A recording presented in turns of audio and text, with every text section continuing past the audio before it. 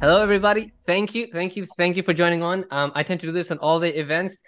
Tell me which part of the world you're in from. I think we all would love to know that. It's, it's we've got over almost two thousand people coming in for this event. It's crazy. It's a massive event, and um, crazy. I think it's gonna be it's, it's gonna be hundred percent worthwhile all your time. So, um, just very quickly, after this event, we've got Eric coming in as well on a separate Zoom chat. So please stick around for that one. I'll send you the Zoom, uh, Zoom link. We'll be sending you the Zoom link in the chat. For some reason, it had to be two separate uh, links. So please check that one out. That is going to be ridiculous. If you've come across Eric before, you know what he knows with respect to AI and outbound. But before we go into that, we all care about email deliverability. We all care about what Google has to say. We all care about outbound messaging. And I can tell you for a fact, the only person on the internet who intimidates me with deliverability is this man on the screen, which is Jesse.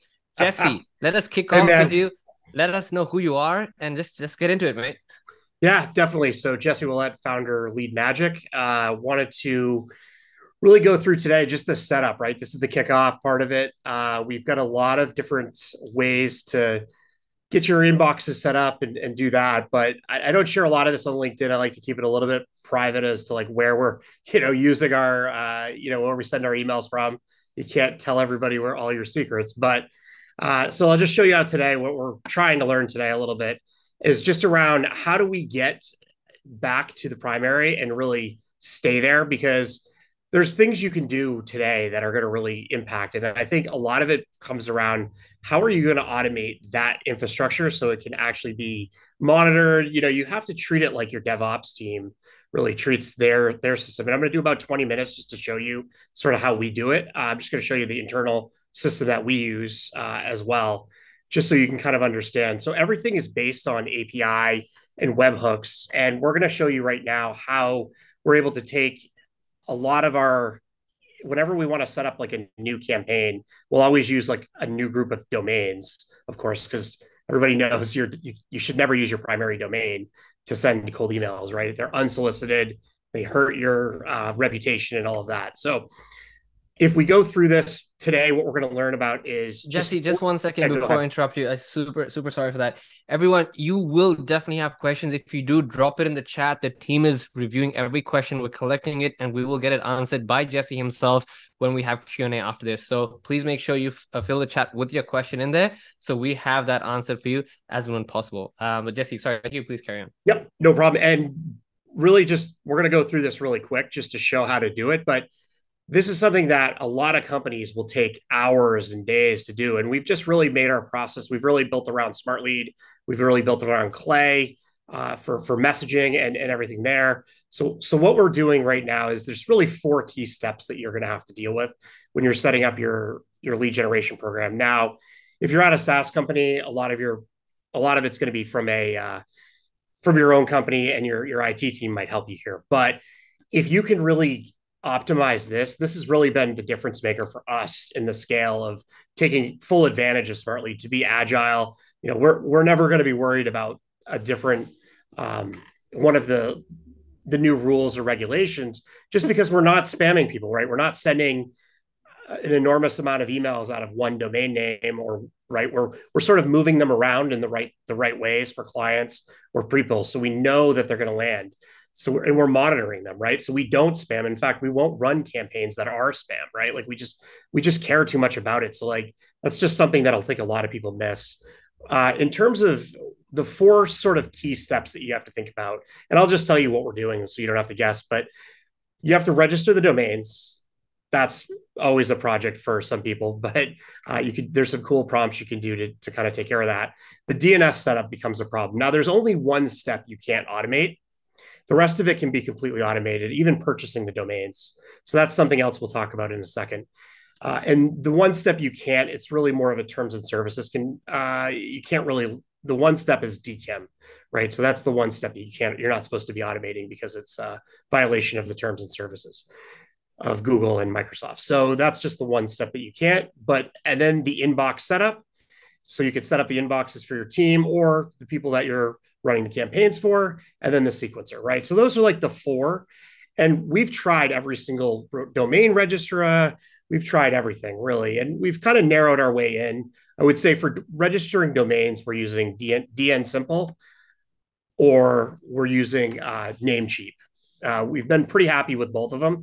The reason that we use those two is we've actually found that their APIs are pretty good for uh, for for actually registering and buying. Right, GoDaddy you can use the APIs uh, to buy the domains, but you have to deposit. Like there's just a weird the depositing process is really odd, so we don't use that one. And then Cloudflare does something a little sneaky uh, with the domains. They sort of make it so you can't really transfer them out.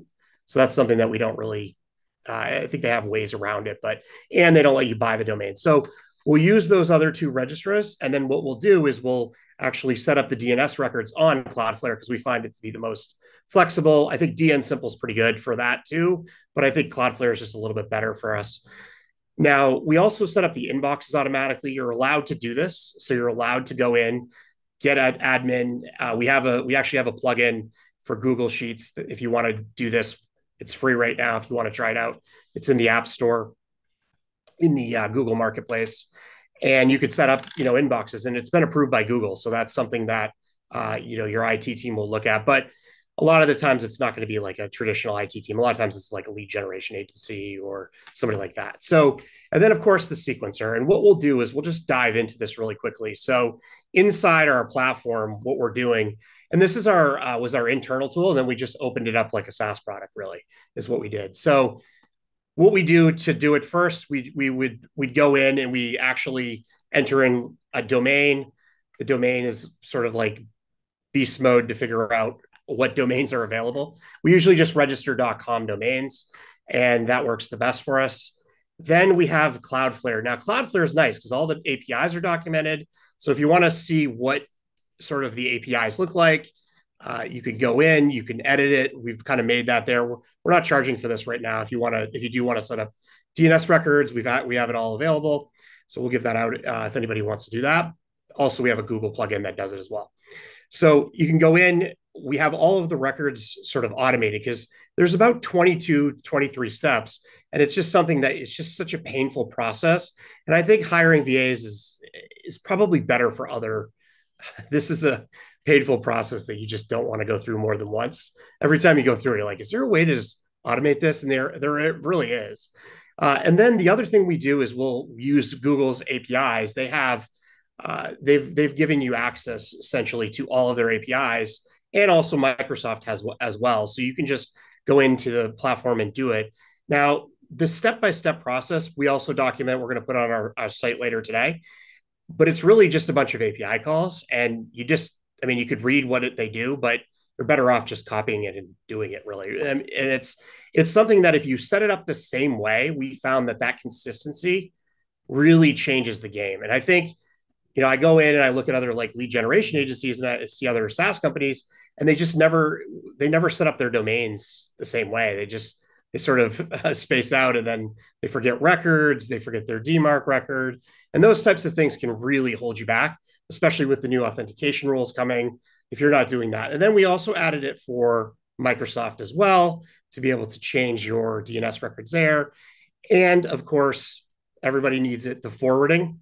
So Cloudflare has a really nice forwarding, and you can also put a UTM parameter on it so you can track that forwarding uh, ongoing. So that's really, from all perspective, that's really how you can sort of do that. Now you're ready to set up the campaigns, and that process could take somebody. I mean, I've I've helped companies out, and they, you know, it took their team several hours to set that up, right? So if you can save that and scale against that, that's one of the things I've seen between top sort of lead generation agencies and things like that. So we're going to give away a guide on this. We've broken down the steps for every uh, provider and every DNS uh, register. So we'll we'll do that. We also have it built into our platform, but this is something that we just really take serious. And I think this is where I've talked to uh, Vaibhav a lot about just how to really nail this process. Because if you use the same records and you do that over and over, you're going to get a lot of excellent results. The other area that I would say that's really important right now is this this is disconnect monitoring. So if you're doing any email right now, you're seeing that your emails are getting disconnected more, uh, especially if you're using tools like Smart Lead or Instantly, which are favorable for delivery, but sometimes Google will sort of target them a little bit more because they're using OAuth 1, which is like a, a little bit of a different security model. So this is something that we do a lot is this monitoring and and really watching the inboxes because if you know what campaigns are shutting off inboxes, and when I say shut it off, it's like you know if you've heard of your like sales development team, maybe uh, have to go to IT and get their account. Uh, and if you're running a lot of campaigns, you'll see more of this, right? That's that's what we see. So just because we run a lot of campaigns for for clients and whatnot, uh, and ourselves, but these are the things that we do that are just far. I just find them to be, uh, you know, when I talk to agencies or I talk to companies, I'm always like astonished because they just a lot of the times they don't have a process, and then when I look, you know, even at a few of their domain names, it's it's pretty clear they don't. And I mean, if you build all this great messaging in Clay and tool and awesome tools like Clay and AI, and then you just don't get this right, like it just really, it's, it's really kind of pathetic. Uh, you know, so that, that's something that I think is uh, out there right now. And then, of course, it always comes down to really, really good copy and being being very relevant. So we do have a, a way to push into Smart Lead. And then we also are adding one for pushing into Clay as well, because Clay just makes it so much easier. You know, you could set up your own template that you're going to use for different clients. And I think if you're a lead generation company, this is really the time you got to reinvent yourself. If you're if you're doing the per meetings and you're doing you're charging a performance basis, it's a really slippery slope that you're going to be running into. I think really where you want to be is helping companies craft their message with tools like Clay. I mean, if you look at what Eric's doing with it, uh, some of the other folks at Clay, it's it's pretty impressive. But I think what we could do is stop there. I'm sure there's a lot of questions on that, and uh, you know, if you have any questions, I'd be happy to answer them just about our process and why we do it a certain way. Uh, but I'd love to hear uh, any questions you have. I can uh, jump in. I think uh, one of the obvious question that people are going to have, Jesse, is where exactly are you actually buying your domains from? Hey, firstly, let's let's go back with that. Does the source of where you're buying domains, you, you mentioned Cloudflare versus GoDaddy or, or whatever, does that A matter, right? And then B, if you are buying them, what is your diversification system with respect to different ESPs that you're using? Yeah, so on the domain front, we actually uh, we we don't see a huge difference now I've there's a lot of people like, oh, I use Namecheap. I shouldn't have. We have not seen a major one.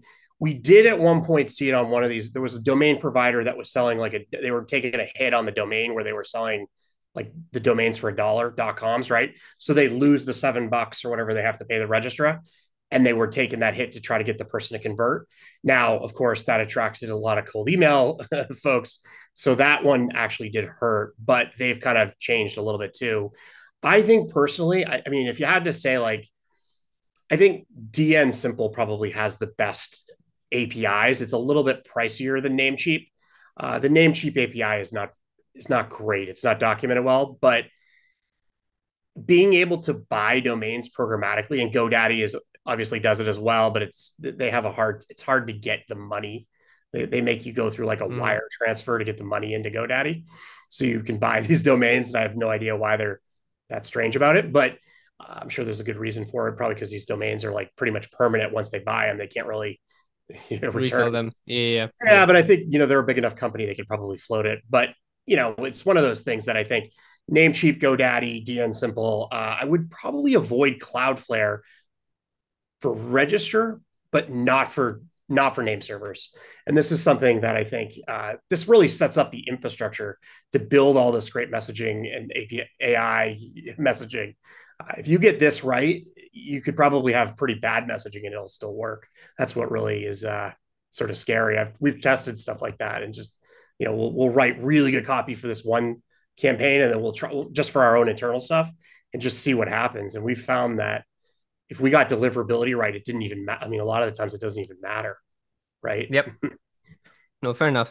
Uh, what are your thoughts on people saying, uh, we've seen this happen, right? The second you buy from Namecheap, uh, you're directly blacklisted. Um, do you know it, why? It, it's fine what, after what seven days. It, so a lot of those spam, a lot of the blacklist are there's there's always like a little weird, something a little weird on all those blacklists. Like you're not gonna like if you started a domain on Namecheap or one of the providers that they they always show up on the blacklist early.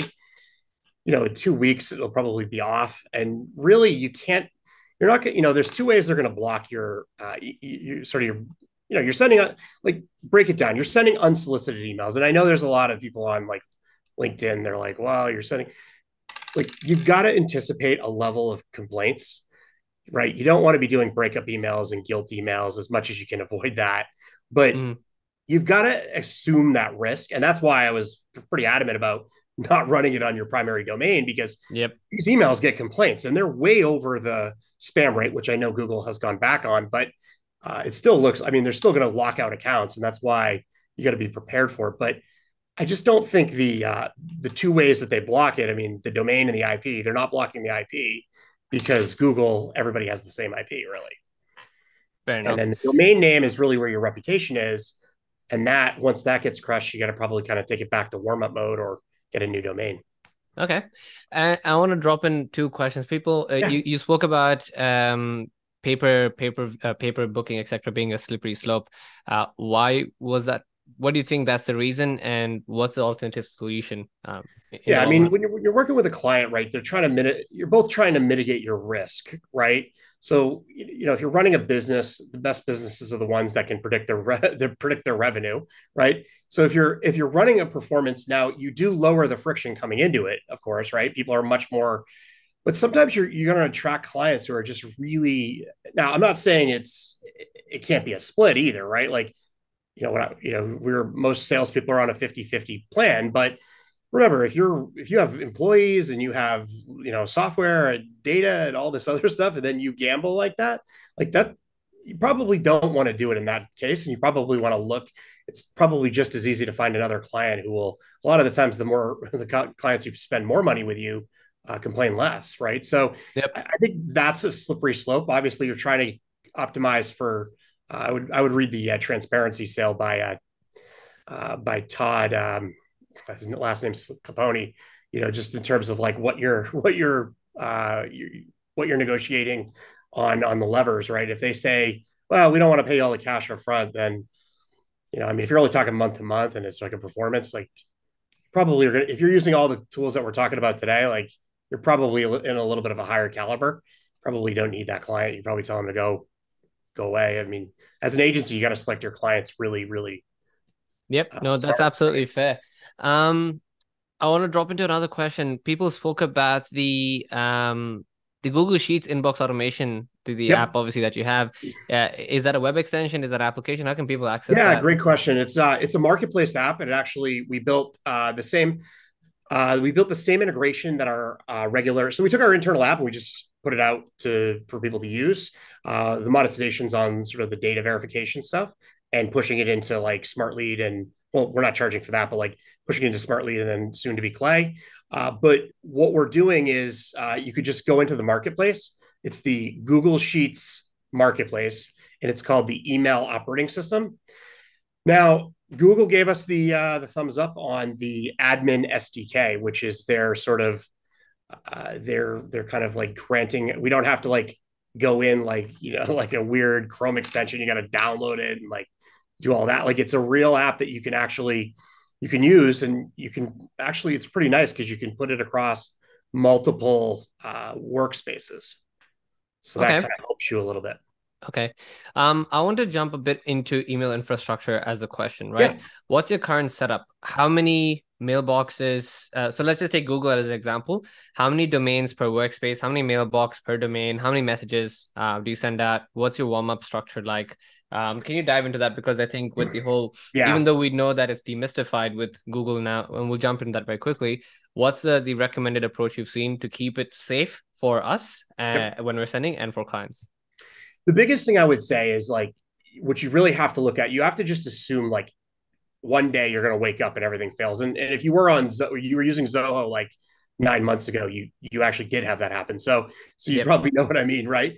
Uh, what you got to kind of do is you got to kind of have this system where, hey, these client, and this is by the way, this is how all the ESPs do it, right? So if you're SendGrid, they look at, hey, are you an e-commerce brand? Are you a SaaS company? SaaS companies tend to have a little bit of a higher spam rate, so they're they kind of put people where they think they should be. And what you need to do is you need to build your organizations out now what you want to do is if you have a really high paying customer, if you lost a few inboxes because of somebody else, mm-hmm. or something like that, or you, you know, you, the org went down, or right. It's all about this sort of decentralization. I mean, the I think the answer is more is always better, but in in in reality, you know, you just got to be careful on putting. Uh, you know, you probably want to work with clients on a basis where you're either putting two or three clients, no more than that, on a workspace. Maybe some people disagree with that, but you could easily okay. disagree with it. But um, okay, but if we want to go with like a very vanilla setup, right? Let's just put the client yeah. aside. If I'm doing it just for myself, how many workspaces? Uh, let's just to say I, I want to reach out. My TAM's large. I want to reach out uh, uh, to hundred thousand people um, in, in, a month, right? A unique yep. needs hundred thousand people in a month. Um, arbitrarily, how many uh, domain. I would set it up on Office right now, probably. Okay. I think Google Automation is a little easier, but uh, probably Office would be good right now because of the. I would probably stay away from that a little bit because it's going to get okay. weird. But I would do probably five or ten domain names, and I would set up two inboxes, and I would only send. I would cap them both at fifty per day because you got to anticipate. You know, you're going to get the warm ups; those are going to come back and give you credits or like sort of like engagement points. But then you're going to lose it back when you start sending uh, emails again, right? Because remember, all cold emails are really unsolicited. So you just Makes have sense. to sort of play that game, and Makes you're sense. not going to have a feedback loop. They're not going to tell you who hits complaint. They're going to give you a spam rate, and that's what you're going to get out of it. Okay, makes sense. Makes sense. Yep. Uh, someone's asked a good question. Any recommendations on getting into large corporate inboxes? People with a thousand plus employees. Yep. What's the angle you take? Yeah. So uh, we we actually had a client we had to do this for. Now it's tough when you get them through and then the message didn't hit, doesn't hit. Uh, that is that is that's the tough part about it. Uh, we we actually were really successful in terms of deliverability. We got just like 15 percent. I don't know, it was like 15 percent replies, but they were just in the wrong direction, right? And they were trending that way. And they said, "Wow," because they were using, I think they're using like Salesloft or one of the one of the tools mm-hmm. that kind of has it on the primary. Mm-hmm. But the answer is, you probably what we do is we'll scan all of the DNS records. It's pretty easy to do. Uh, you could just use like the Google. Uh, Clay probably has a way. You could just use uh, dns.google.com, and you could find out which inboxes they use. So if it doesn't say Gmail, it's probably it'll say it'll say Office, but it'll there's also like Proofpoint and a lot of those. Most of those are probably on the Office. If it's the bigger companies, uh, I hate to do this like rule of thumb thing, but like generally speaking, you're probably going to be more on Microsoft Exchange. I agree. To Office 365, right? That's the transition they took. Yeah, and and for some reason, as we all know, uh, you know, 35 emails a day. Bill Gates. Okay, that's 35 mil. Okay, 35. So yeah. So if you drop down the sender and you you start slower, and what you want to do is kind of don't go crazy. Don't don't send the uh, like the first week maybe only set up like two or three and just see how the message is getting received. Are people replying? Like, is it is it coherent? Like, you know, you got to get that feeling first. And then you're like, okay, we're getting the replies they're not great yet. Like we haven't seen what we wanted to see yet. Mm-hmm. But remember, 5% reply and you're looking for 10 to 20% and optimize that for positive replies. Mm-hmm, mm-hmm, mm-hmm. Okay. So that's Perfect. what I would say. Makes sense. Makes yep. sense. Makes sense. Uh, I'm going to pick an interesting question from Julian. Um, what site do you use or recommend to keep track of all your domain reputation, MX Toolbox stuff, Mail Monitor, what, uh, Glock Apps? What's your what's your tool for um, ensuring you're healthy? Uh, so I think the best one out there is the delivery center, but you can't really use it for cold email. Uh, okay. If anybody knows what Glock Apps just did, I, I hate to. I'll be careful here. I don't want to get in trouble, but like I kind of want to on if anybody remember, uh, just because they they switched their model like kind of in the middle of a month to their to a consumption or they did something with consumption model and basically everybody's price went up 10x. So you have to look at your Glock Apps bill. You know, if you got it locked in, Glock Apps is pretty pretty reasonable. It monitors it. I think another thing that's missed is one thing we do in Smart Lead is we actually have a button that in our app, it's it's available, it actually works. You can um, you could basically send uh, to our webhook and you could test all your inboxes. So we run a 700, you know, like on one environment we have that we'll run 750 domains and we'll just send uh, to that webhook. And that webhook is on SES. And then we have another webhook that's on SendGrid. And we just see if either one of them either don't authenticate the DKIM, DMARC, or SPF. Yeah, yeah. And if if any of them fail, we automatically go and fix that inbox, and we do that every week. So like we Makes never sense. deal with like a bad inbox, like on, you know, like we take a lot of pride in that, and you could set up a campaign and do that uh, to with you know if you want to do it in our uh, our portal that we're giving. We're giving system, yeah. Fair enough. Um, I want to drive into a question that someone just asked, yeah. Be, uh, and let's break it down in two ways, right? So, first question is, hey, um, uh, any other platform other than LinkedIn to go ahead and get access to private emails? That's question one. And question two, I'd like you to answer why we shouldn't be sending uh, emails to private emails based upon the entire Google conversation we've just had. Now, are we talking? Are we talking personal emails? Yeah, personal emails. Yeah, personal emails. Okay, so yeah, I mean, you want to. So like, obviously, Gmail is going to be cracking down on people who are sending. Uh, they they really kind of.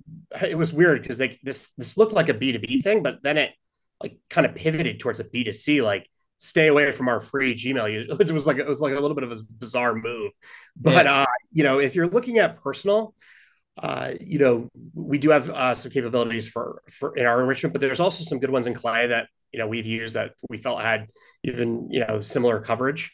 Mm. I think personal emails you want to be careful with your you want to look at the laws in your country so if you're storing the data and you're doing that you're going to probably be in a gdpr and a CCPA. So you want to be very careful. Personal emails aren't really great for B2B. So I would sort of focus a little bit differently there. And if that's probably another world you want to look at, um, might be better for something else. Okay. So with that, can we uh, let's use this platform as the first conversation that's been really yeah, is going to be had yeah. in, in, a large public setting. Uh, what was the Google issue that obviously went viral last uh, last week or last mm-hmm. two weeks ago. And then what was the redaction that happened? Yeah. And what should people do going into 2024 this is december. This is going to be the last large event we're going to have on cold emails before we go into the new year. So what should people be doing? Um so yeah i think i think look google is pretty serious about they want to be under and, and we've seen it on pickup. We've seen orgs get banned already. We, we we've talked to two orgs that have gotten they've gotten banned. They had about 100 probably 100 sales development reps each and they had it right. Like they had probably, you know, if you get five or ten of these SDRs that get suspended in one day, and if you started to email like the top, like a couple, like I think one of them was emailing like Honeywell, which is like a well-known Google uh, customer, and they hit like 20 people over there and probably got 20 complaints. If you do that, Google will block your org. I mean, I'm sure they will, right? Now, it looks like they've backtracked on this whole like, we're going to block your org thing uh, I'm not sure what happened there. I mean, there was probably a couple of uh, calls over there. I mean, it's lobbying. Sort of, yeah, yeah. They they basically didn't. They kind of took the teeth out of the. Like they basically came out really, really strong and puffed really hard on it, like puffed their chest out a lot, and then they just sort of backed off. Now, you just never really know, right? You never know who's actually writing that copy over there. They don't really say anything about it. Uh, the funny thing is, is nobody really knows how your email. Everybody is like, "Oh, I can fix your deliverability." They don't really know how your email deliverability is until they actually, uh, in, unless you're the person on the other end getting the message. The only person who knows if your email got delivered is the person on the other end. None of the tools know. Right? You have to be in that person's inbox or part of their IT team to like go into their inbox to know how the deliverability is. So like you don't know. The only thing you can really rely on is the replies right? So that's where Makes a lot sense. of people this. Yep, yep, makes sense. Uh, you know, since you raised that question, everyone's looking for a barometer to work with, right? Or um, a barometer to work with. You said at least five percent reply rate is something to aim for, and open rates a certain percentage. Now, I want to drip into that question very quickly. A, I know I'm putting in the spot. I hate when someone asks me this, but might as well ask you this. Um, what should be a response rate I should be categorically aiming for in the B2B space when I'm trying to go ahead and generate meetings? So Eric uses open rates. I don't. He uses it to flex because he thinks, you know, he knows he has. so I'm going to bust his chops a bit here, but, but I, you know, and I like his move actually because it does give you a sense of comfort. But the thing about open rates are you don't know we'll go open and then we'll go reply and positive reply. So open rates, you don't know, right? Like it's if you email more ITP Apple users, you're going to get a higher open rate. Does that mean they read it? Nope. It could have been the proxy relay in Louisiana.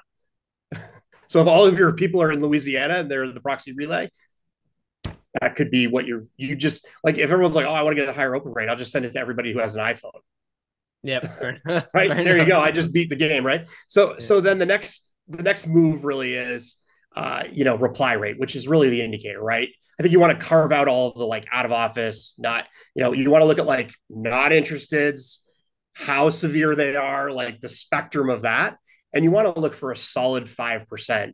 If you're under 5%, there's something wrong, right? Like your deliver, it's probably your deliverability, or you're just not asking like a, like I, I get a lot of these emails. They're just not asking like, they're not asking for anything right? Mm-hmm. They're not like, or they're not giving you it. You know, there's nothing they're doing. They're just like, uh, you know, I'm, it could be really anybody, but it's like, I just don't. Some of them I'm like, what, what, what am I supposed to do? Like, even if I was interested, like, what would I do to respond to you here? You're, you know, you're making it awkward here. Like, ask me a direct question, or, you know. And I think that reply rate will go up if you do that. Uh, I think getting that response is key. But if you're just bumping the email, that's another thing we see. Really, is uh, you really got to try to add some value to these messages every every single time you send another message because yep. the equity is just coming out of your your company right every even if i was like thinking about responding now I'm going to go not respond because you've sent me three emails, right? So you got to really think about the equity.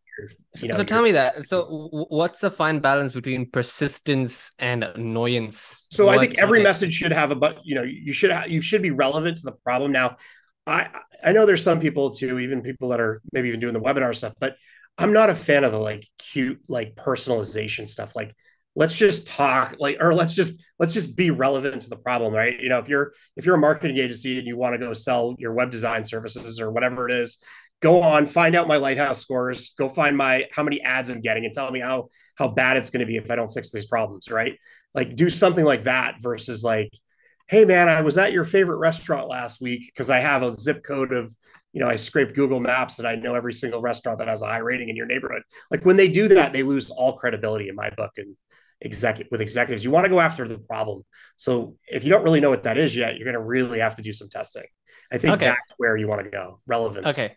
So so when we oh, so a, a, great way so if we were to blend that in with Clay would be to go ahead and drop in the, their website and then use something like the Claygent uh, as yep. well as the yep. integration, then work out the common problems that domain or that website is facing. I think that would be like a beautiful way to figure out a relevant. Yeah. So run their run their lighthouse, like run lighthouse over their website or something like that, and and tell like say, hey, you know, I noticed you guys are moving moving around a lot here, and you're you've updated. Sure. Maybe monitor their site for site changes. You could use um you know site changes you could do that and you could just monitor the site and say hey i saw you guys were changing the site. It looks like it's running a little slow on mobile or it's not responsive or you forgot your schema meta schema your, your, your schema seo oh, understood. understood. like that stuff really helps. If you could do that and highlight it they'll probably thank you number one. I mean you know i've also seen some people that come at you a little too hard and i think you can also really rock uh the wrong you, you know i've had some people come at me and they're like hey, I found this problem. You're a real idiot. You know, it's like, okay, well, I really want to deal with like, you know, I'll fix the problem and then I'll go find another vendor to to help me. But that's another thing. You got to kind of, you know, you got to be gentle a little bit. But like, yeah, I I know that. Uh, someone comes in straight offended, oh, like, hey, like, your website shit. Man. I'm like, this is not how this works. Like, I get it, but yeah, I, am a human. Um, yeah. sorry, Mish, did we say something? Yeah, yeah. No, the EQ is key. Um, but I was gonna say, yeah. Jesse, when clients come to you, because I think a lot yep. of people on here are probably like, all right, how do I apply this to my business? What's the framework you use? Like they have a de- deliverability issue. It's probably more fundamentally yep. an issue of their content, their offer. Like, what do you go through with them that people on this call can do right after this call, just like for themselves as an exercise? Yeah, so there's a. Um, I'll, I'll even uh, drop it in the chat, but there's a. We have a sort of an Airtable that, or well, like a, uh, you could just email it lead magic at email dot. I'll, I'll, I'll put it on there, and we'll tell you. We give you back like what's what's wrong on the authentication. Now, if you have any of those wrong, that's just like go get it fixed today. Like you should get 100 percent on that. Then I think what you have to do is you have to figure out how many unsolicited emails you're sending because unsolicited emails get complaints. So if you're sending more than you know 100 from one domain name, and you don't have, you're not like a bigger company that can really handle that, like you're probably in trouble. So that's like the next thing you want to look at. So the first one is just all the authentication things. Those just need to be solved. Like don't if your IT team fights you on that, like look for a new IT team, right? Like that's what I'd say. But sorry. But uh, you know, the second thing is that obviously, like, are you sending more than a hundred unsolicited emails from your your your domain, right? And if you are, then you're probably going to have to go move that a certain part of that workload to another domain name because you're going to get too many complaints and you'll always be in spam. And then I think it's about the content. After that, it's the content, right? That's the next thing. People are sending too many still. That, that that's really what I'm noticing because Google is just Microsoft and Google. They're just not like if you if you go into a day and you get five, seven, eight, ten complaints on one sequence, and you're not spacing those out right, they got you. Like the, the pattern is so friggin' obvious. Yeah. you know? and, and, and on that note of like consistent messaging, sorry, Mishti, did you, did you have anything else to add on uh, to that? No, no, I think that's great, and it's also a list building problem at that point, right? Like if you're yeah, it's all list building after that, and audience and relevance. Yep. Yeah, yeah, but go and ahead. That's where Clay really comes in. Very, you know, having that process with your clients to really understand their business, and I would say like the negative consequences. Like if they can't illustrate that, like product market fit, just be prepared for a battle, and that's where those performance agencies like sort of give away too much, I think, is if the company clearly does not have product market fit and there's just no real need for that product, they're just looking for meetings. Those are the companies that really you got to stay away from. We've taken some on, and you know, usually we turn them, right? Yeah, uh, and you know, they paid us for the service. Noted. So. Noted. Um, the chat's filling up with a ton of really high value questions. Jesse, yeah. I know we're running on time, so I'm Go going to drop in a few few questions over here. Um, uh, Jesse, you mentioned uh, you you were actually the originator of the ESP feature that we rolled out at Smartlead, right? Um, yeah. But the question Adam had was a great one. Is like if we're actually blending Gmail and Outlook together, do you actually recommend actually recommend doing Outlook to Outlook and Gmail to Gmail? Do you see any statistical difference at scale? You do, but there's another problem that depending on who you're emailing. Uh, so, and you got to be there's another level of doing this, and I, I don't know if everybody's this might be a little more, but like what happens is is your uh, if somebody's on so like there's office and there's google but there's a lot of companies that are on office that are on like proofpoint mimecast and there's they're on google as well so they're on those and a lot of people have a hard time figuring out are they on google or are they on microsoft so then sometimes that whole game gets kind of blasted now there are ways to figure out if they are on google or microsoft right and i'll leave it there but that that is a strategy that you can do we are doing that. Uh, that's something that, you know, I won't share that right now, but like, you know, if you message me, I might be able to talk through that with you. But there are ways to do that to figure that out because Proofpoint and Mimecast and all those other ones that you see, those that's a completely different. That could be on Google or Microsoft. So you got to figure that out. If you can figure that out, then it probably works again. But I think people are going to ultimately like feed into their own machine learning models, right? Like which what's going to come out as spam. Makes sense. Hopefully that makes Oops. sense. No, no, no. That that makes sense. Um, I, I want to roll back in very quickly. As someone spoke about, has the world changed then from doing six to seven follow up messages to something shorter in the two three span? It's it's a constant front and back battle where people speak about persistence versus relevance, right? Um, not to harp on on the same process because it we've seen people do seven follow ups, we've seen people do two follow ups. What is quantifiably? I just ran a campaign for somebody who is a mm-hmm. well known, very well liked person Mm-hmm. And they went to a fifth message, and every one of the domains was getting disconnected every single day. Makes sense. And this person is very well liked, very smart. and, and if I said his name, you would you would definitely be like, "Wow!" But they got their entire every domain they had was was starting to get uh, that. So that fifth email can really screw it up. Uh, okay. We found the fourth isn't as bad, depending on how well you trend, you know, sometimes you don't have anything great to say on your second and third. Sort of like pull in a little bit there. I like mm-hmm. to lead a little bit with emotional, and then you kind of cap it off with something very rational that'll impact their business. Sort of like the way that you know, mm-hmm, mm-hmm, mm-hmm. sort of like uh, people make decisions emotionally first, frustrated, annoyed, and yeah. then now yeah. I want to save my business. I mean, read anything with Jocko or any of the other sort of great sales trainers, they'll tell talk through this. I love him. Get gets you tough and tough and going with Jocko. Yeah. Um, uh, you you spoke about product market fit with your clients, and uh, you spoke about ensuring that we uh, uh, we figure out we pull in clients and customers that actually have a product to sell. Uh, do you have one or two qualified questions that people can ask when they're doing um, client assessment to decide whether the clients actually got PMF? Yeah, so I think what you got to really do is just just have them talk you through okay, just talk to me about a client. Like what were what was the problem they were having like right before they called, you know, right before they bought your product and you know, what did they pay? Like, and then what I would look for is like some of these like um, you know, you have one customer pays like a million dollars and another one is paying 20K. It's like, wait a second, what's your go-to-market like strategy? Like if it doesn't line up, if it's like a million dollar sale, but they have, you know, they have an inside sales team, it's like, what's going on here, right? Like this isn't going to work out or like a team that's not on the road traveling meeting people right like or they're not like partner influence driven or anything like that i think you got to kind of look at their go to market a little bit and uh, look at some of the building blocks around that like what what is their makeup of their team are they like how do they acquire the customer you know, a lot of the sort of sales led organizations can struggle more with the marketing side, right? They they don't have as much marketing execution, and then it's sort of the opposite when you go uh, sort of e-commerce or even PLG. You just have to really ask them like, what is the reason? What is the negative impact, the negative consequence that somebody's going to have right before they think about your product, and have them just like explain that. And if it doesn't make sense to you, uh, and it's just like a kind of a lumpy G, go to market, that, that those are those are dangerous. Makes sense. And I wanted to drive a quick question. I think it's yeah. uh, one that was going to come up. I didn't want to raise it, but someone else did. What's your take on using platforms like Inframail, MailScale, um, you know, Bare Metal Magic? Um, there's a lot propping up right I mean, now. These are great ideas. The the downside to them is like when they put them at that price point, right? Like when they put them at like a, you know, like uh, they just stop working.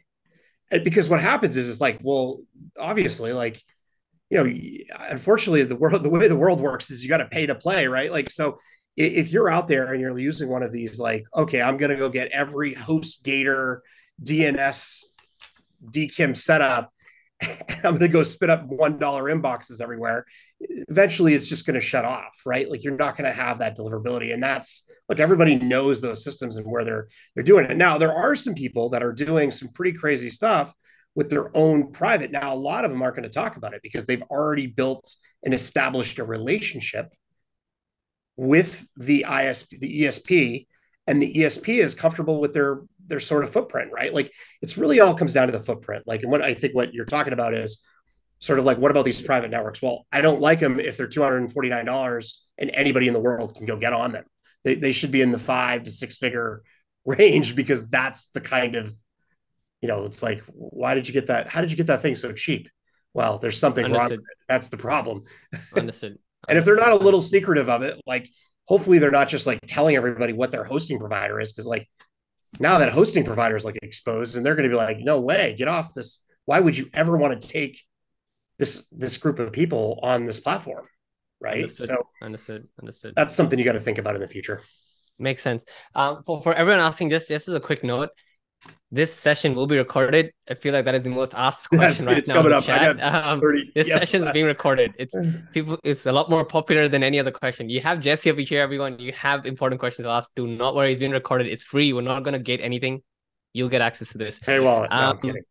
So, um, uh, Jesse, now let's go into a bit of the, the technical pieces. Um, maybe a bit uh uh, Offspring. Yes, you definitely get a coffee break. Uh, Jimmy will will be calling it a break in about five to ten minutes to take a quick coffee, and then we'll go into Eric's session, which is going to be just as epic. Be awesome. Um, uh, so Jesse, I have a question for you over here with respect to your take on Spintax.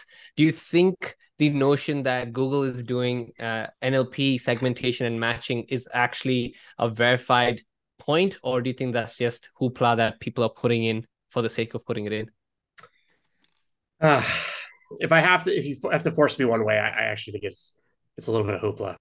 Okay. I haven't seen. I have not seen much difference. Uh, we've tried it. I mean, I, I can. I've looked. Trust me. I, have got a lot of data on this, and I can't find it now. I'm not saying like I actually think probably should do it, right?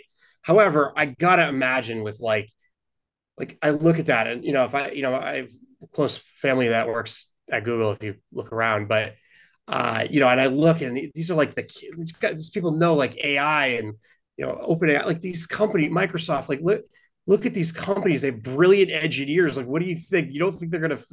I just look at it, I'm like, come on, man. But look, hey, if you want to add it in, I'm sure it can help, right? Like, I don't think the I, look, I do think there is a problem with the exact same copy, but it's all a machine learning model, and once you just cross it, you just don't know what that behavioral threshold is. And I think that's really what you have to start to think about is like what behaviors am I demonstrating? Like, am I burst? Like, you know, if you look at sales Salesloft's, I think they changed it recently, but if you look at Salesloft's website, it still says send 250 uh, emails per, or did like a couple weeks ago, 250 emails per rep per day. It's like if you burst out 250 emails out of one person's inbox and the rest of the company is sending nothing, what do you think is going to happen? They're going to block. They're going to block that inbox. You're going to be shadow banned, and then they're going to just suspend you after enough people complain or even find it in the spam folder like that's it's it's the behaviors and it's also like a lot of education i think there's got to be some more leadership in the sales engagement platform space i think a lot of them are really struggling right now and i'm glad you you know i want to take this opportunity to like you know, you've really like shown your leadership about delivery. Like you don't want spammers on your platform. I know you like that's not what you want. And I just think there's just a lack of sort of like leadership on some of the other. They just got to come out and say, don't send unsolicited emails from your primary domain name over 50 a day, right? Like I know that's going to scare IT and they're going to be scared, but you can't really do it. Maybe 100 a day per domain unless you have huge volume. So I think you got to really, really take this serious. Don't use your primary domain as a testing ground either. That's another one that's like, how do you not know that by now? Like, what is wrong? What no, memo did you miss? Noted, noted. Um, I'm going to drop into final two questions. Uh, just to make sure we have some time. Uh, to, to be to be kind to to Rajesh, who's actually asked this question a few times. Uh, what's your take on Zoho, Jesse? Where are we with ah. this? Oh. Um, uh, and I know we can go on forever, but stay away. Get the quick kill. Stay away. Stay away. All right, yeah, they, uh, they, they, I mean, they eliminated cold email. Actually, I'm just a little bitter about it because I, uh, they didn't. Uh, yeah, I don't. Never mind. But they, cool. they, uh, they, uh, they, they do have cold email. Like that is, like they. If you start warming up in Zoho right now, you are you'll find out what, what's going to happen, right? Like you'll yeah. People try it. I mean, they were telling I, about I, it, it's not going to work. I, I just wanted to make sure work. people heard it from your side. Um, we'll drop in the last question, and then we'll take uh, uh you know just the second point. So what's going to happen over here? Um, what's your take on reply rates 100% in warmups? Why should people not do that, or why should people do that?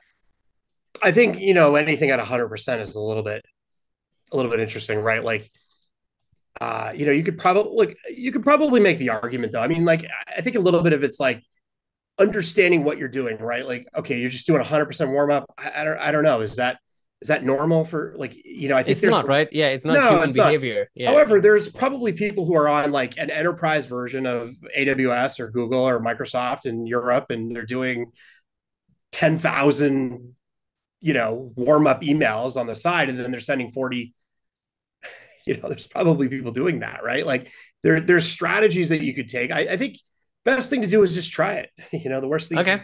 no, that's, that's, absolutely fair. That's Plain text though, fair. that's the that's the number one. That thing is uh, that is the number one. And most people are still not on plain text. And if you have open rate on, you're not on plain text. So that's it. So don't that's turn it on. If you have open rate on, you're not. On plain text has been the biggest difference maker for us. Yep, I completely agree. So just before we do this, a, a quick note on the plain text, because uh, deliverability is a thing. Uh, Jesse mentioned this concept a long time ago, which is basically like a, a master slave, uh, a combination where you have a thousand leads, 900 leads, you basically do in a plain text experience with open rates and 100 leads with open rates on. That way you can actually gauge what your lead quality is like if you really care about it and then use that to measure your you know your master campaign. So eric's the only one who gave me a compelling argument on this one because he he said he flexes the fact that he gets like a high open rate but i'd rather just get the replies. Yeah no, that's absolutely fair. We'll, we'll, we'll take on eric on the next session. But jesse ask him that question please somebody. I definitely will. I definitely will. Uh, everyone before you jet the next session is in exactly nine minutes. Um uh, Mishti or Swapnil, can you please drop in the link over here? I you already obviously have. Uh, yeah, yeah, you already have the invite for that, so you should be there in that one. Please make sure you show don't up. Miss Eric. Uh, yeah, you don't miss Eric. Um, he he's been ramping on a lot of stuff about uh the way he wants to handle things, and given the way the world's moving with AI, you want to be involved in that. So, with that being said, Jesse, if people want to get in touch with you, how do we do that? And uh, some part yeah, of just DM me on LinkedIn. Just uh, let's you know, if I can help you there, there's a lot of my contents on there. Uh, probably a lot of you heard of it there. So just go uh, LinkedIn, or if uh, you know you, you find out some of the private groups that I run, you could talk to people that are possibly in them, maybe get an invite. But uh, you know, just I'll do that very quickly. Everyone, it's called SaaS Yacht Club. Um, okay. it's invite only. Try to find it. it, it game changer. Hard to find. Game. It's hard to find. Yeah, me. I'll, by, we'll figure it out. Easy peasy. All right. If you know, you know. Everyone, thank you so much for your time. Jesse, thank you so much for your time. Jesse, everyone from leadmagic.io, check out his website, check out what he does. A cold emailing expert on LinkedIn, follows all his content with respect to deliverability. He's the one who broke the Google news. He's the one who broke the Zoho news. He knows his stuff. Follow his shit. Thank you, everyone. Have a good day. Jesse, thank you so much for your time. Yeah, you. Everyone, we'll see you in eight minutes. Have your coffee, have your toilet break. See you soon. Bye. Let's go back to the primary. Thanks. That's it. Cheers.